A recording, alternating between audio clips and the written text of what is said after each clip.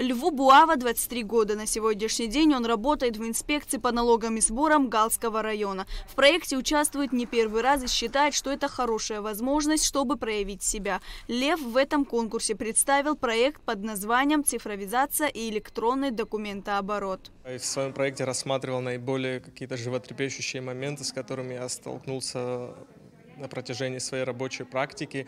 Так или иначе, это все связано с совершенствованием документа оборота, чтобы оптимизировать большое количество процессов, повысить прозрачность и в целом повлиять э, на действия в, на экономику нашей страны, на ее развитие дальнейшее. Проект Валерия Джинджоля посвящен развитию распространения базовых медицинских знаний, которые необходимы для повышения уровня здоровья населения и развитию менторства для школьников. Сотрудница представительства Россотрудничества в Абхазии Руслана Гергидава представила проект по реализации молодежной политики к 2030 году.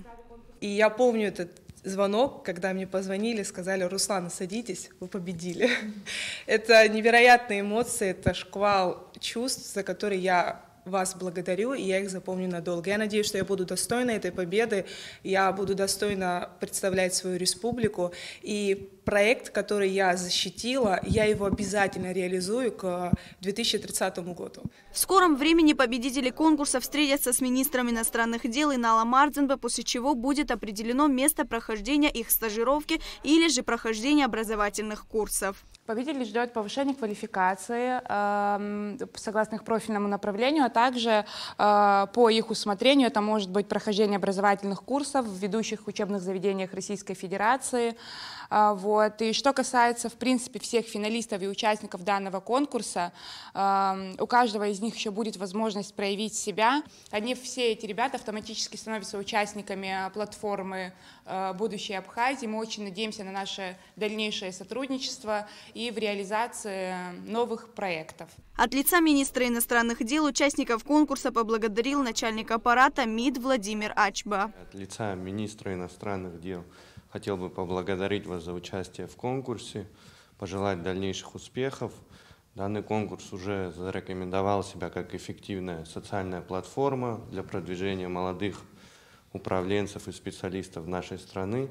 Поэтому желаем вам дальнейших успехов, будем следить за вашим профессиональным развитием. Конкурс «Гордость Абхазии» проходил в три этапа в течение двух месяцев. На первом этапе молодые люди должны были подать видеоэссе и резюме. Затем они должны были пройти тестирование и собеседование с конкурсной комиссией. И на третьем этапе состоялась презентация собственного проекта. Очень хочется отметить, что на каждом этапе конкурса каждый из вас проявил себя максимально хорошо, и многие из вас на финальном этапе конкурса выбрали те темы, в которых они уже работают, в которых они свой потенциал уже развивают, поэтому видно было, что вы владеете темой, а, знаете проблемы, а, про которые вы рассказывали, а самое главное – пути их решения.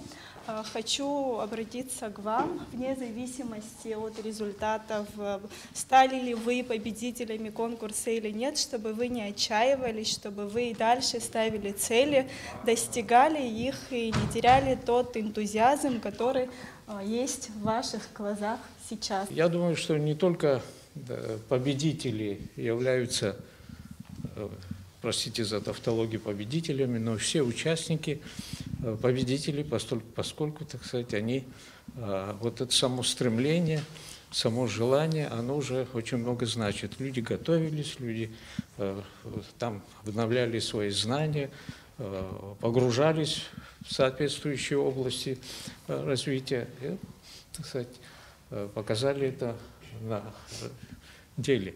Конкурс «Гордость Абхазии» проходит на базе социальной платформы «Будущее Абхазии», почетными председателями которого являются президент Абхазии Аслан Бжаня и министр иностранных дел Инал Ардзенба.